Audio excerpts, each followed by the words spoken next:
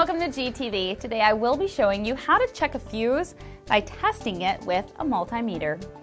The first thing to note is that to accurately test a fuse, the fuse must be removed from the machine itself and away from any sort of power.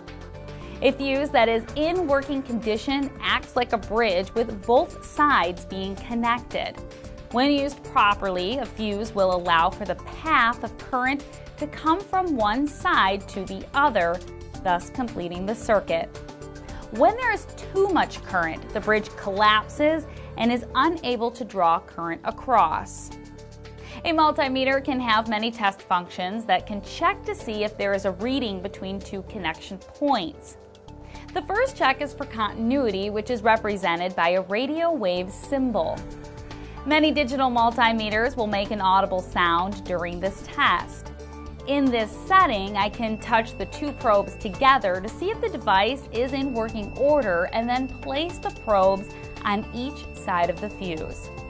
I should get a beep to indicate that the two points are electrically connected. I can also use the resistance measurement setting represented by the omega or ohm sign.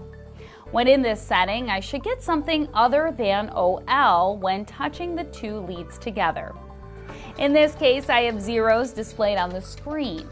Touching both ends to the fuse should reproduce the same results. The diode check function can also be used by repeating the same steps as done for resistance. Different fuses have different connection points to test from. An automotive fuse shaped like this has the connection point here and here.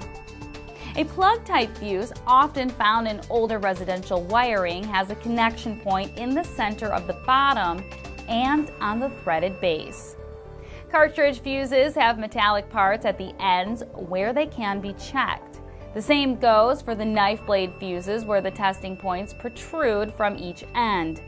Most fuses will have some indication that they have blown, but using these tests is a good way to verify if the fuse still works.